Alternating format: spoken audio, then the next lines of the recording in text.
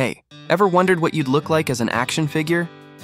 You know, like those epic 3D looking photos that are blowing up on social media right now? Well, you can actually make one yourself for free, and you don't even need to install an app. Let me show you how. First, just open your browser and head over to chatgpt.com.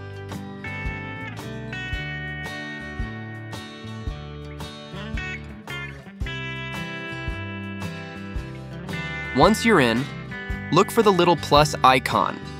Tap that, choose Photo Library,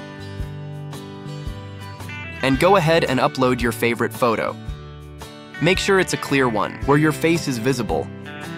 Now here's where the magic happens. We're gonna use a prompt to turn your photo into an awesome action figure. I've already written the full prompt for you and dropped it in the video description below, so don't worry about coming up with it yourself.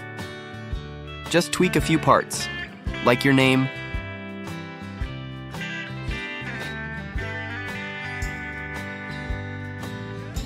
what you do for a living, and maybe add a couple of fun props or items that represent your job or personality.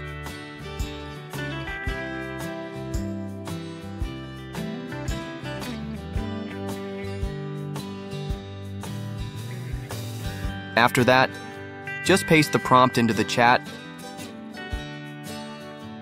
and hit send.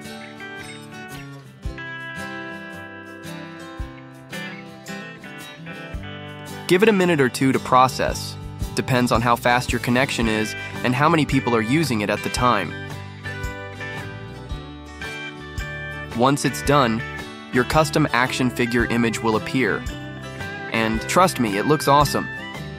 You can even download it easily by tapping and holding the image, opening it in a new tab,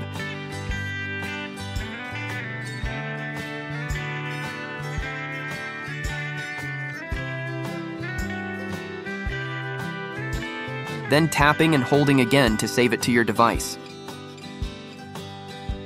And that's it. You just turned yourself into a mini legend, all without installing anything or paying a dime. If you try this, I'd love to see what you come up with, so feel free to share it in the comments.